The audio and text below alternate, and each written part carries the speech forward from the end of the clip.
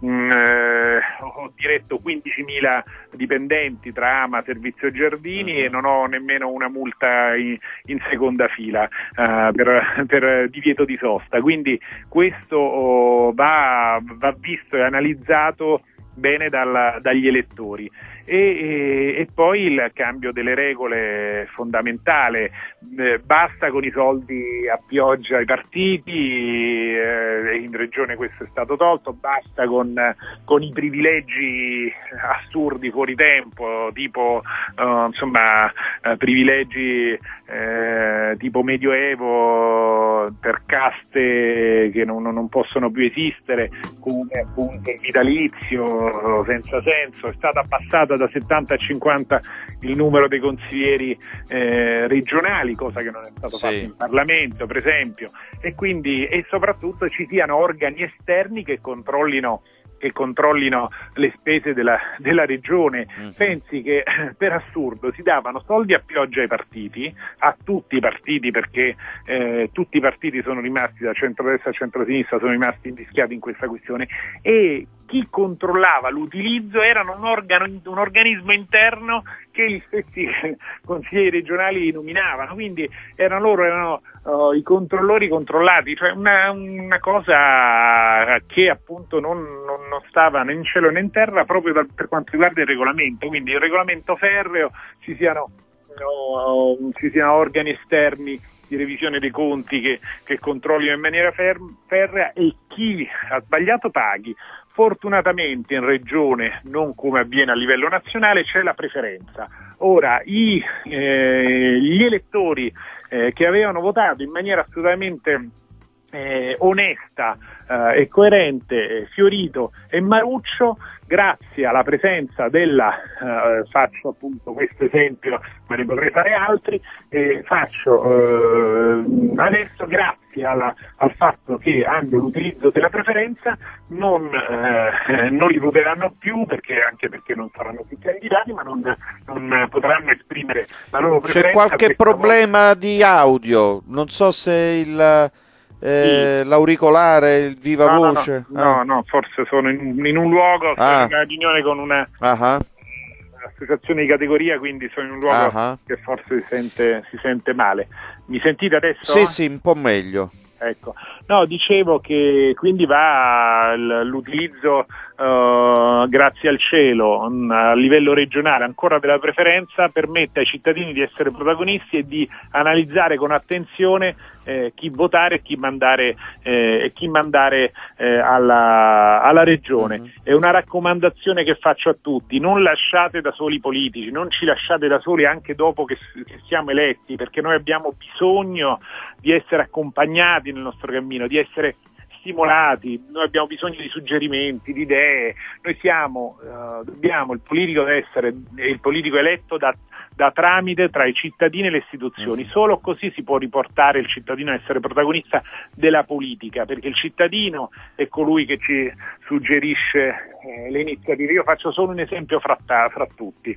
Eh, nel nostro gruppo politico al Consiglio regionale mm, eh, a suo tempo ci fu proposto uh, da un cittadino normale la, uh, che venne da me in farmacia, io lavoro uh, ogni giorno dietro il bancone e mi venne a, a proporre, eh, mi disse dottore perché non, non eh, io che ho lavorato una vita e ho 75 anni e una pensione minima debba dover pagare il mezzo, il Cotral per andare a trovare mia figlia a Civitavecchia. Io ci pensai, proposi eh, ai nostri referenti regione eh, appunto questa, questa lamentela e questa si trasformò eravamo all'allora governo Storace, eh, della regione si trasformò uh, nella pesca dell'anziano in cui c'era la gratuità dei mezzi pubblici. Per... Senta una cosa, leggiamo dei giornali che è ancora in... Eh, si sta chiudendo la lista e ci sono dei delle riunioni molto vivaci, se così possiamo dire, perché la eh, Presidente Polverini eh, sta, vuole ostacolare a tutti i costi l'ingresso di, eh, del Presidente, l'ex Presidente del Consiglio abruzzese. Come finirà secondo lei? Guardi, io eh, non, non, non, so cosa dire, sono, eh, certo io ritengo che insomma, bisogna dare un taglio con il passato, eh, bisogna sia con chi ha sbagliato e, e, fra tutti io ci metterei anche la Polverini. Quindi eh, che è stata super può, premiata, al numero 3 della eh, lista Infatti appunto, appunto, eh, può, ha lasciato certo, un po' certo perplessa questa scelta. Chi, chi, ha sbagliato nel passato dovrebbe stare, avere la dignità di stare zitta e invece di poter eh, invece di, di, di, di, parlare e quindi io ritengo che insomma, bisogna, il centrodestra deve cambiare proprio passo e quindi bisogna avere, eh, niente, avere la, la mh, mm, eh, mostrarci al cittadino, all'elettore una veste totalmente, totalmente cambiata rispetto al passato. Quindi eh, queste sono beghe di partita a cui io non, eh, non voglio entrare, ritengo che insomma, il rinnovamento debba essere totale, quindi mhm. eh, insomma, andiamo avanti con, novi- con le novità, garanzia, cioè con persone nuove eh, che si affacciano alla prima volta uh, nelle istituzioni della regione ma che vengano da decenni di amministrazione sana, pulita e la gente è ormai adulta ed è capace di, di decidere, quindi ancora una volta spingo i cittadini del Lazio a, a dare le preferenze ai candidati che si conoscono e che sono soprattutto la loro storia politica e professionale parlo per loro e, e quindi eh, andare a scegliere la persona migliore che li possa rappresentare. Un'ultima battuta perché siamo proprio fuori tempo massimo e mh, dando una scorsa al programma elettorale eh, mi ha colpito questo eh, discorso che mi sembra molto importante in un momento come questo eh, nel momento in cui si dedica attenzione alla piccola e media impresa eh, cercando di facilitare l'accesso al credito.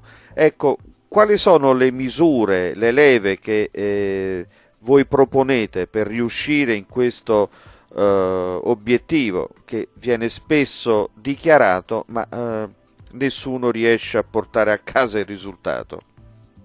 Linea.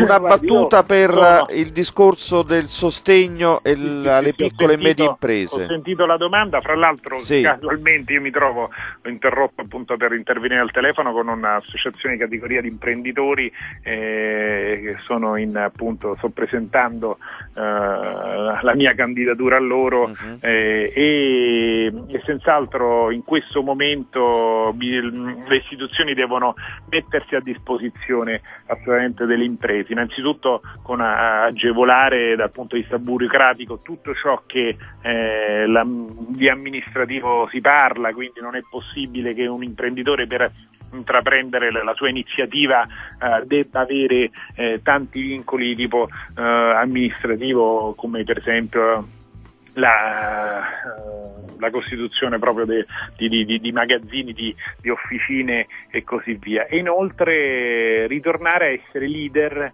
eh, per quanto riguarda l'utilizzo dei fondi europei. Ci sono, ci sono tante possibilità economiche, tanti fondi che vengono della, dall'Europa e non, eh, non, non sono adeguatamente eh, utilizzati. Io faccio per esempio questo, questo esempio oh, del, proprio del governo Storace pensate ci sono 300, più di 300 um, eh, regioni che costituiscono la comunità europea.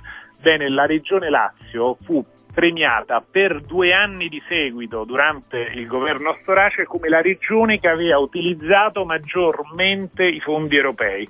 Eh, diventammo uh, veramente la, la regione più virtuosa d'Europa i campioni d'Europa più della Bavaria, più della Carinzia, più della Lombardia, regioni che eh, eh, conoscono come regioni virtuose, proprio perché utilizzammo al 100% i fondi europei. Faccio l'esempio dell'assessore Iannarilli, l'assessore agricoltura che utilizzò il 113% dei fondi, cioè tutto il suo plafond e in più eh, fu premiato con un 13% in più, eh, che erano residui di altre regioni italiane che non venivano utilizzate. L- pochi anni dopo l'assessore Valentini all'agricoltura eh, del, del governo Marrà Lazio utilizzò invece il 15%, quindi i fondi europei ci sono, sono fondi che vengono dalle nostre tasse eh, e eh, ritornino qui eh, nella Regione Lazio e siano eh, a sostegno delle imprese perché le imprese hanno bisogno di, di, di, eh, di attivazioni, di incentivi. Poi la, crea- la, creatività italiana, la laboriosità degli italiani, eh, soprattutto nel settore delle imprese, è la, mm, forse una, una, delle prime al mondo, quindi va, uh, va sostenuto il lancio, le nuove idee, le nuove iniziative e poi gli italiani e gli imprenditori italiani sono capaci di di andare avanti da soli. Benissimo, abbiamo, siamo alle 12 e abbiamo terminato il nostro spazio. Perfetto. Tanto Grazie, avremo modo di incontrarci e confrontarci ancora perché Sono- abbiamo lasciato eh, ai margini, ma avremo modo di centrare sia l'argomento sanità che l'argomento rifiuti che sono un po' il- la palla al piede della nostra regione. Da questo punto di vista io da farmacista vengo dal mondo Eh, della appunto. sanità e, e da ex assessore all'ambiente posso, insomma, Anzi. possiamo parlare di tutti e due. Esatto, e, e parleremo sono- pure appunto del, eh, del- delle tante discussioni che eh, ci sono state attorno ai farmacisti, no? sulle liberalizzazioni e veramente sarebbe interessante cercare di capire, anche se eh, lei è un addetto ai lavori, però è parte in causa, capire eh, cosa c'è dietro questa resistenza da una parte ehm, rispetto ai tentativi che vengono fatti per cercare un po' di aprire. Guardi qual che- è la situazione le reale? faccio- Quella sono curioso che proprio. Ci sono, ci sono Eh. adesso in atto tre- concorsi per 3.000 nuove farmacie in Italia, quindi eh, insomma è, è forse l'unico settore in cui le liberalizzazioni sono state attuate, ma eh, io non penso Ne che- parleremo. non eh? penso che sia l'unico problema Assolutamente, delle carità.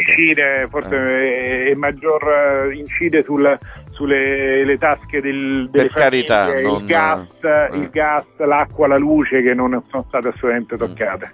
Va bene. Grazie. A presto. Un saluto, arrivederci.